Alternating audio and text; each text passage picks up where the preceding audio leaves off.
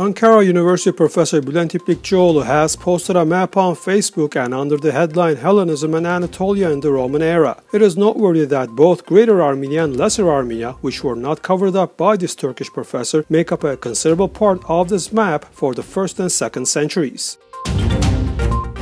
At Thursday's cabinet meeting, the government of Armenia dismissed Razmik Tevonyan from the post of governor of Ararat province, and by another decision, his son Sedrak Tevonyan was appointed the new provincial governor of Ararat. Sedrak Tevonyan had given up his parliamentary seat on January 4th, and Razmik Tevonyan was appointed governor of Ararat province on December 10, 2020. Then he had submitted his resignation on September 9, 2021 from this office, but a few days later, he had withdrawn his resignation.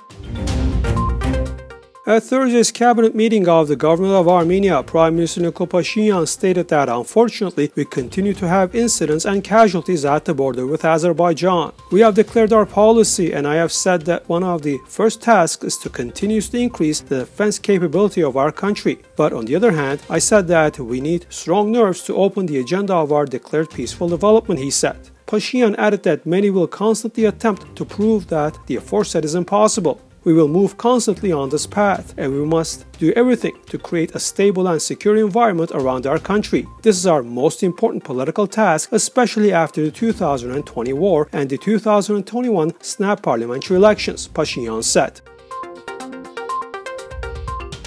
Flyone Armenia has received permission from the Turkish authorities to operate Yerevan-Istanbul-Yerevan flights. Aram Ananyan, chairman of the board of directors of this Armenian airline, told TASS. We have planned the first flight on February 2nd, he added. As previously reported, Flyone Armenia and Turkish Pegasus Airlines have been issued licenses from the Civil Aviation Committee of Armenia to operate non-scheduled flights between Yerevan and Istanbul.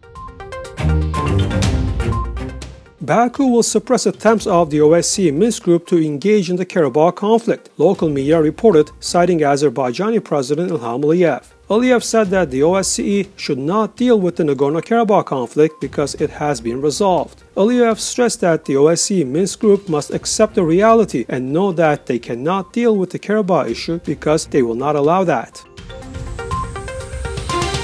298 new cases of the coronavirus were confirmed in Armenia as of Thursday morning, and the total number of these cases has now reached 346,811 in the country, NEWS.am has learned from the National Center for Disease Control and Prevention. Also, four more deaths from COVID 19 were registered, making the respective total 8,014 cases. SAG Awards nominees have been announced in the United States. One of the films nominated for the award was Ridley Scott's House of Gucci. The creators of the award announced the nominees on the organization's website. Leading the film nominees this year are House of Gucci and The Power of the Dog, with three nominations apiece, while TV series Ted Lasso and Succession are tied for five.